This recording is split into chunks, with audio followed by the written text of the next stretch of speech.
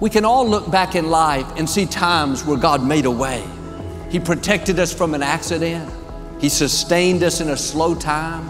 He promoted us when we didn't deserve it, strengthened us when we were weak, brought us through that loss. Those weren't lucky breaks. They weren't just a coincidence. That was the hand of God protecting you, healing you, favoring you.